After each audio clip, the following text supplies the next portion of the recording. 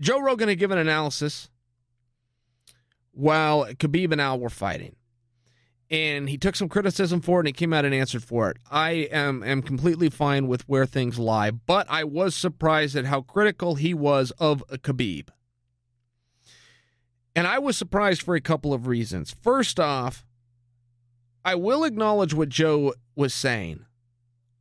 When you're watching Khabib fight, and this weekend specifically, your mind cannot help but wonder how would he do with Tony and how would he do with Conor? You can't help but think that. And you can't help but think of a precision power striker like Conor. And you can't help but notice that Khabib keeps his chin up. And it's a problem. I tell you who else keeps his chin up is Conor McGregor. So maybe it's a bit of a wash. But you you do have to see Khabib fight, and you do have to come with that takeaway that he isn't bulletproof. He does get hit at times. He seems to deal with it. So does Conor. Why he even leaves that door open, why he would crack that window for somebody to walk through, I don't know, but that's between him and his coaches. I don't have a problem with that part of the criticism. I don't have a problem with that part of the analysis. I do struggle with some when somebody is out there fighting for a world championship and they aren't even losing a round.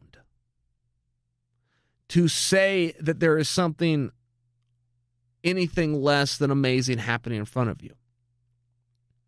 There is a common belief against fight fans, fight analysts, and occasionally fighters that this sport is about knocking the other guy out. That is wonderful for marketing and is wonderful for talking points. It is not the name of the game. The name of the fight game, and I didn't create these rules. You'd be as pissed at me as you want. I didn't create these rules. I'm telling you the rule. The name of the game, I hit you and you don't hit me. That's the game we're playing. All the rest is marketing and hype, propaganda and gamesmanship and it can be very helpful for the business, but it isn't the sport. The sport is I hit you and you don't hit me. Khabib was hitting his opponent and not getting hit back. Khabib followed the rules of the game. I watched Sugar Ray Leonard go through this. I've watched Floyd Mayweather go through this, where people want to criticize because he's not put, putting people down. I watched Michael Bisping go through this. And now I'm watching Khabib go through it, apparently, as of Saturday. The game says, I hit you and you don't hit me. He was playing the game, and he did it very well. And the only problem that I had, and again, we're, we're, we're good here. Joe gave his response, and it, everything's fine here. But the bigger problem that I had with it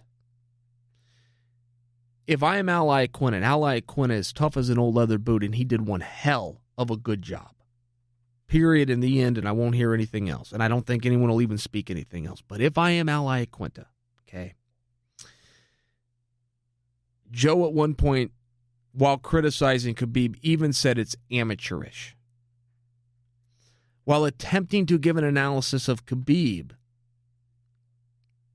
he just greatly insulted Al mm, because Al is now getting touched and not touching, he is now losing to a guy who was fighting like an amateur.